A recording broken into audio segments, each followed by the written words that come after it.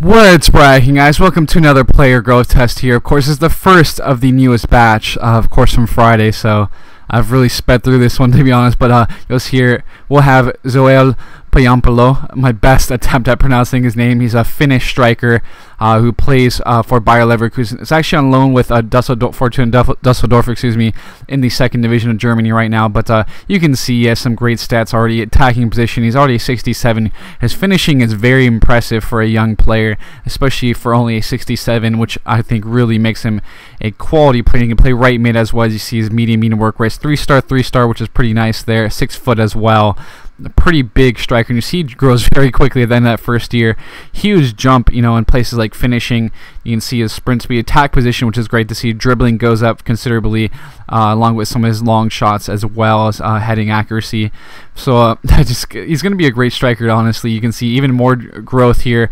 Physical uh, stats really grew a lot. You can see ball control, dribbling, now sh long shot, shot power, finishing, along with attack position continues to grow. He's just going to have all these key stats for a striker going to continue to grow throughout his years with your side.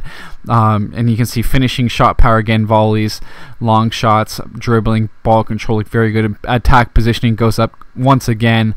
So he's going to have, you know, always be in great spots, it seems like, and definitely makes him a very valuable player. And you can see more growth here finally. At the age of 25, already a 79. Some very rapid growth, I have to say.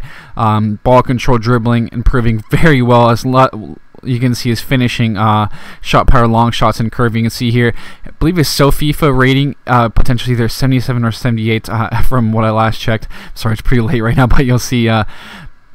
He's just honestly one of the best strikers you'll probably come across as far as growth growth wise in my opinion especially how rapidly he grew at such a young age was pretty cool to see um, and of course he was already at a decent rating with that I think he, it makes him a very valuable player um, and of course finishing it's going to be an amazing stat for him, and he's going to already have finishing, uh, great finishing to start off. So uh, definitely will be a great grab. Uh, but of course, he is another Bayer Leverkusen product. They just have so many good young players.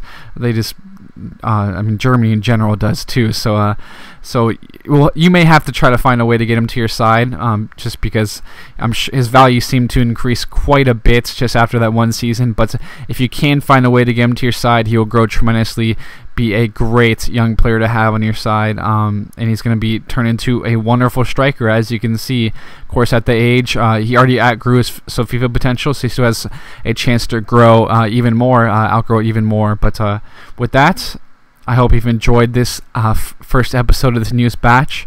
So uh, I prefer if you guys left you know, suggestions for players later on in the week, just because it's easier to keep track, so I don't miss out any any of you guys. But that, I will have basically almost all of your guys's um, all your guys' suggestions in this batch here. So uh, I hope you guys will enjoy this batch, uh, especially for those of you that submitted names.